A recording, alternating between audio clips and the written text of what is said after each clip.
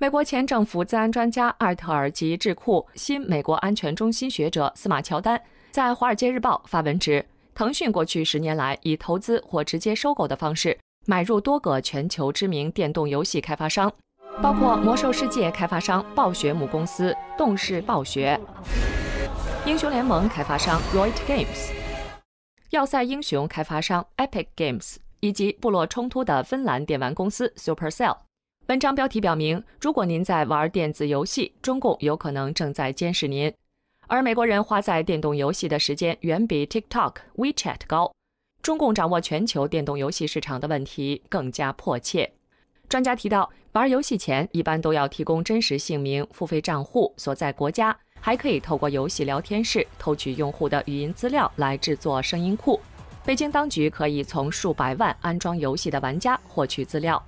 文章呼吁。美国政府应要求游戏公司保证收集的有关数据储存在美国的云端，以及动用外国投资风险审查现代化法案，强迫中国企业撤离被认定会接触到美国敏感资料的电玩商。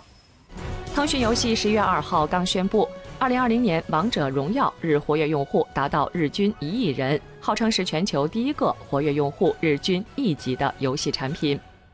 新唐人记者林岑鑫、雨薇综合报道。